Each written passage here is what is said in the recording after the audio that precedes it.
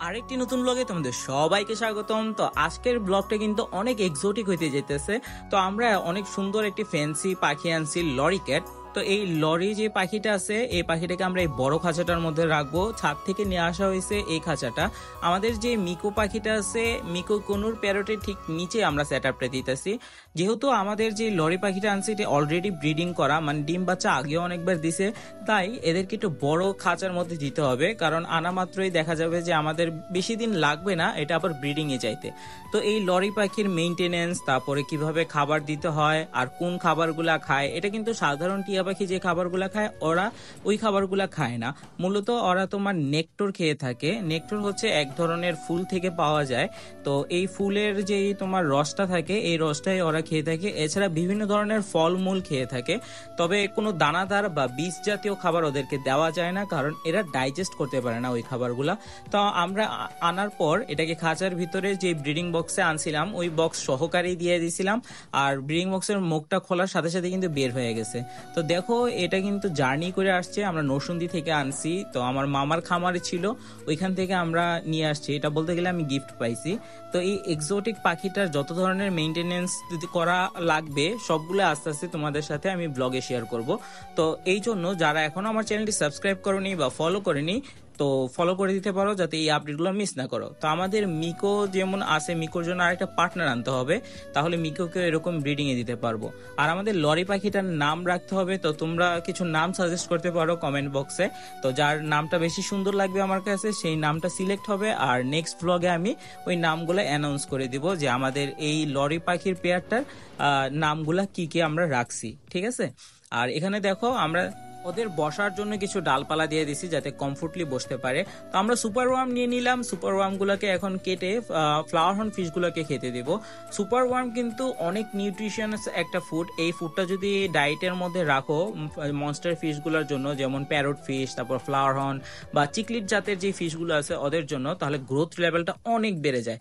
তো আমাদের একটা পড়ে গেছিল তোমার এই সুপার ওয়ার্ম তো এটা আবার উঠে আনছি। আর আমি কিন্তু এটাকে স্লাইস করে কেটে কেটে দিতেছি।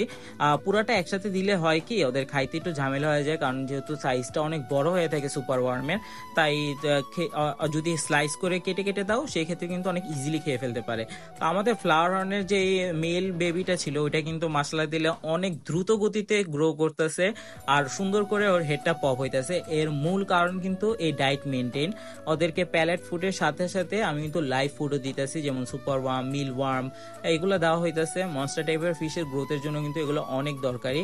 আর আমাদের ফিমেল যেই ফ্লাওয়ার হর্নগুলো ছিল, ওগুলো তো অলরেডি অনেক অ্যাডাল্ট হয়ে গেছে। পাশাপাশি ওরা কিন্তু ডিমও দিছিল, কিন্তু মেল মাছটা অ্যাডাল্ট না হওয়ার কারণে আর পেয়ার না দেওয়ার কারণে ওই টাইমে কিন্তু এগুলো ফার্টাইল হয় নাই এবং হ্যাচ হয় নাই। তো ইনশাল্লাহ আশা করতেছি আমাদের মেলটা যখন ফুললি অ্যাডাল্ট হয়ে যাবে, ওই ফিমেলদের সাথে কিন্তু এটাকে পেয়ার দিব আমরা। আর ব্রিডিং প্রসেসটাও যদি করি সামনে দেখাবো। অলরেডি কিন্তু বেট্টা ফিশের ব্রিডিং প্রসেস চলতেছে, ওই ব্লগগুলোও দিতেছি। তো এখন আর কথা না বাড়িয়ে চলো আমরা আমাদের মিকোর জন্য কিছু ফ্রুট ডাইট নিয়ে নেই। তো এখানে আমি তরমুজ নিয়ে নিছি। তরমুজের বিচিগুলো কিন্তু একদম সরায় ফেলতে হবে। কজ কোনো ধরনের বীজ জাতীয় জিনিস যদি ওরা কনজিউম করে ওটা ওদের ডায়েটের মধ্যে সমস্যা করে ফেলবে, ওদের ডাইজেশনের সমস্যা হবে, যার কারণে কিন্তু অনেক সময় পাখি মারাও যেতে পারে। তো এই জিনিসটা অনেক খেয়াল রাখতে হবে। যে কোনো ফল ফ্রুট দাও বা যাই দাও, এর সবগুলো বিচি ফালাই দিতে হবে। বীজ ফেলে শুধুমাত্র ওই ফলের অংশটা কেটে কেটে ছোট করে স্লাইস করে দিতে পারো, যাতে ওরা সুন্দর মতো খেতে পারে। ওরা কিন্তু এই যে র- শুধুমাত্র রসগুলা খাবে ফলের। দেখবা যে এগুলা কামড়ে শুধুমাত্র যে রসগুলো আছে ওগুলা খাবে আর ছাবাগুলো ফালাই দিবে। তো আমরা ফ্রুটস দিছি, আপাতত ফ্রুটসগুলো ওদের খাওয়া হয়ে গেলে নেক্টর ফুড যেটা আছে এদের যে খাবারটা কিনে আনছিলাম, ওই খাবারটা দিব। তো ইম্পোর্টেড খাবারগুলো সবচেয়ে ভালো যে লোকাল ফুডগুলো আছে, ওগুলো ভালো নয়। তবে আপাতত আমরা কিছু লোকাল ফুডই আনছি। ওই ফুডগুলো আপাতত দিব, কিন্তু নেক্সটে আশা করতেছি যে আমি আরও ভালো মানের, উন্নত মানের খাবার কিনে আনব এদের জন্য, যাতে ওদের ব্রিডিং এর যে সময়টা আসবে, ওই সময়টাতে কোনো ধরনের নিউট্রিশনের অভাব না হয়, আর সুন্দর মতো ওরা ব্রিডিং প্রসেসটা করতে পারে। আর যখনই বাচ্চা দিবে প্ল্যান আছে যে ওদের বাচ্চাগুলোকে হ্যান্ড ফিট করাবো। হ্যান্ড ফিট করাইলে হয় কি, বাচ্চাগুলোর সার্ভাইভাল রেট অনেক বেড়ে যায়, আর পাশাপাশি কিন্তু তোমার পোষও মেনে যায়। তো দেখো এখন লরির যে ফুডটা আছে, এটা হচ্ছে নেক্টর ফুড তো এই ফুডটাই আমরা এখন আপাতত দিব। ওদের যেহেতু ফ্রুটস খাওয়াইছি, ফল ফ্রুট খাওয়ানো হয়েছে, এখন ওদেরকে যে প্রপার খাবারটা আছে, ওই খাবারটা দিব। এটা এখানে ইনস্ট্রাকশন দেওয়া আছে কীভাবে তৈরি করতে হবে। তো দুইশো পঞ্চাশ এম এর একটা বোতল, ছোট্ট বোতলের মধ্যে পানি নেবা। পানি নিয়ে এই পানিটা ছোট পাত্রের মধ্যে দিয়ে দেন আমরা দুই চামচ দিব। আমাদের যে লরি ফুডটা আছে, এই ফুডটা দুই চামচ দিব। দুই চামচ দেওয়ার পর মিনিমাম তিন মিনিটের মতো হালকা আঁচে এটাকে গরম করে নিতে হবে। গরম করার পর দেন এটাকে আবার রুম টেম্পারেচার আসার পর এটা তারপর দেওয়া যাবে। বলতে গেলে ছোট বাচ্চাদের যে তোমার সেরিলাক তৈরি করে বা তোমার ছোট বাচ্চাদের জন্য যেই তোমার এগ ফুডগুলো তৈরি করে, ওই এগ ফুড তৈরির মতোই কিন্তু একদম ফুল প্রসেসটাই সিমিলার তো আমরা এখন দুই চামচের মতো দিয়ে দিছি। তারপর দুই চামচের মতো দেওয়ার পর সুন্দর মতো এটাকে একটু নেড়ে নিব যাতে ভালো মতো মিক্স হয়ে যায়। তো মিক্স হওয়ার পর এটাকে চুলায় দিতে হবে হালকা আছে গরম করার জন্য। তো আমাদের মিক্সিং কিন্তু হয়ে গেছে। এখন আমরা সুন্দর মতো এটাকে চুলায় নিয়ে যাব এবং দেন এটাকে হিট দিব। তো তিন মিনিটের মতো দিতে হবে। তিন মিনিট হয়ে গেলে আর পরে আমরা এটাকে নামায়ে রুম টেম্পারেচারে ঠান্ডা করে নিতে পারব। তো এই তিন মিনিটের মধ্যে কিন্তু এটাকে তোমার নাড়াচাড়া করতে হবে যাতে এক জায়গায় বসে না যায় খাবারটা। তো এটা হতে থাকুক, এর মাঝে আমরা আমাদের মিকুগুলোকে একটু খাবার দিয়ে দিছি। আর এখন আমাদের যেহেতু খাবারটা একদম রেডি হয়ে গেছে, তো আমরা এই ফুডটাকে একদম কন্টেনারে রাখব যাতে কোনো ধরনের বাতাস বা সমস্যা না হয় আর ফুডটা নষ্ট না হয়। কারণ আপাতত কয়েকদিন এই খাবারটাই খাওয়াতে হবে অ্যান্ড দেন আমি ইম্পোর্টেড যেগুলো বিদেশ থেকে আসে খাবার, ওই খাবারগুলো কিনে আনব। এটা কিন্তু লোকাল নেক্টর ফুড আর লোকালগুলা তেমন একটা ভালো হয় না। এটা কাজ চালানোর জন্য শুধুমাত্র।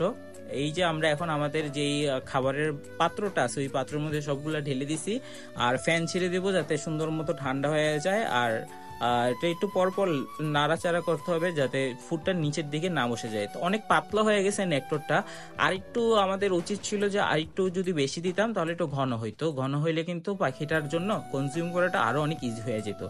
তো ওদের তরমুজটা খুব ফেভারেট আমি যা দেখলাম, ওদেরকে আপেলও দিছিলাম, নাশপাতিও দিছিলাম, তবে ওইগুলোর তুলনায় তরমুজটা অনেক বেশি খাইতেছিল। আর যেই গরম পড়ছে, এই গরমের মধ্যে কিন্তু পাখির জন্য তরমুজটা অনেক ভালো, কারণ এই গরমের মধ্যে ওদের যে পানির ঘাটতিটা আছে আর যে নিউট্রিশনের অভাবটা আছে, এটাই তরমুজ থেকে সম্পূর্ণরূপে ওরা পেয়ে যাবে। তো আজকে কিন্তু আর তেমন বেশি কিছু বলার নাই, এখন আমরা আমাদের যে নেক্টর ফুডটা আছে, ওই খাবারটা দিয়ে দিতেছি। তো আশা করি সুন্দর মতো ওরা খাবে। তো দেওয়া মাত্রই দেখলাম যে অনেক স্বাচ্ছন্দ্যেই ওরা খাবারটা খাইতেছে।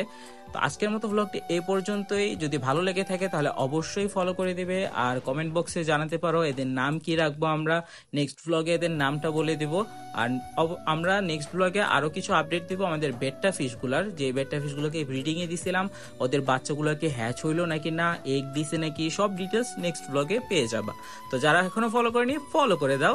দেখা হবে অন্য কোনো দিন, অন্য কোনো সময় নতুন কিছু নিয়ে, নতুন কোনো আপডেট নিয়ে।